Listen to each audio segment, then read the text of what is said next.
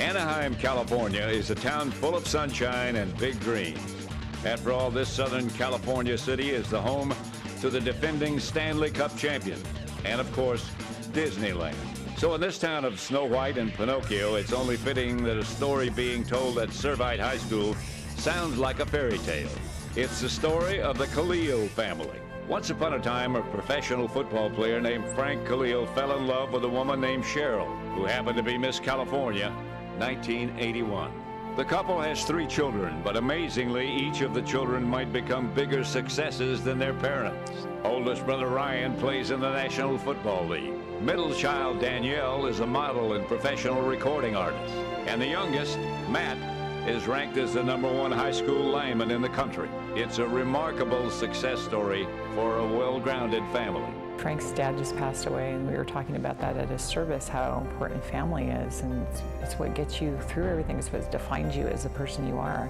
If you surround yourself with good people, then good things will happen. I really think that who you hang out with defines who you're going to be as a person. In the Kalil family, success isn't an exception, rather it's the rule. But since this is a show about prep athletes, we'll start this story with Matt Kalil. In reality, it's only fitting, after all, the Servite offense starts when its six foot seven inch, 280 pound tackle heads to the line of scrimmage. Uh, running behind our O line is fun because, like you said, we got some big boys. But running off that left side or running inside with Matt pulling, it's uh, it's even more fun.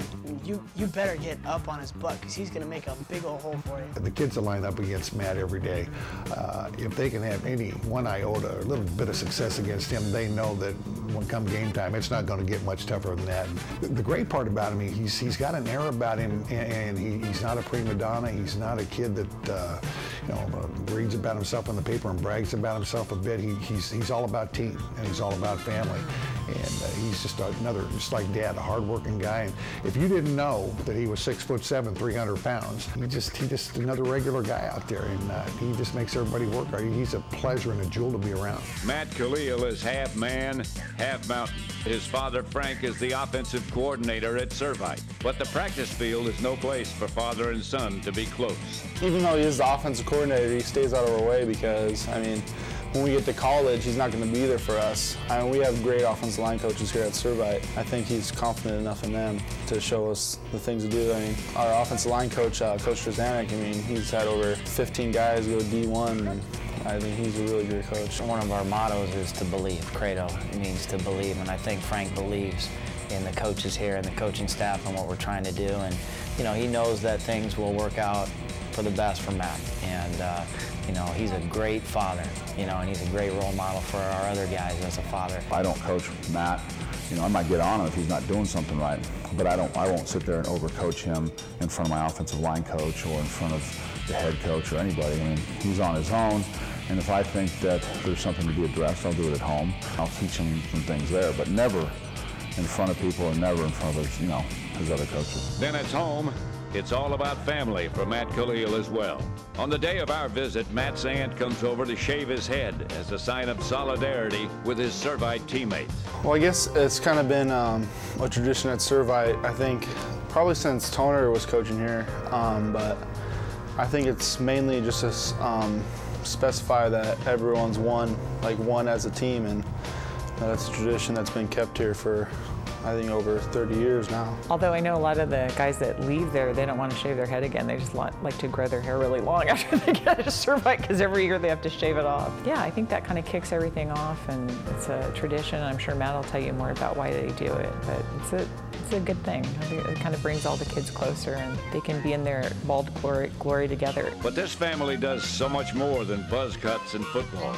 The Kalils own a coffee shop named Mojo's in Corona, California. My niece manages it. Courtney manages it. We have a double drive-through coffee store which is, I'm a coffee connoisseur, I love coffee. Frank was never much of a coffee drinker, although he is more so now. But he's actually the one that suggested we get it started, and my daughter works at it, I work there. Um, my, like I said, my niece runs it, I have a nephew that works there, so it's really, it's a, really is a family business. And when she's not at the coffee shop, Danielle Kalil is hard at work on a bright singing career.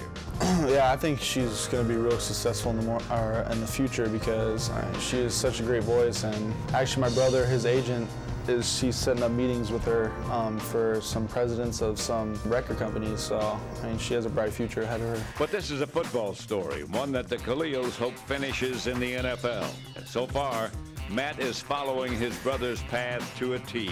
Next year, he'll attend the University of Southern California, just like Ryan. I do. I'm so excited. I don't have to buy a new wardrobe. I told Coach Carroll he was going to see me age over a 10-year span. That was kind of scary. and then it might be off to the NFL. It would be a fitting end to this fairy tale story. Both Kalil brothers playing together in the National Football League. I think he'll compete well like his brother. They compete really well, and, and uh, we'll see what happens. I think that would be a very special moment if they were on two different pro teams or if they were on the same team. I think that I would look at that as uh, quite an accomplishment for both of them.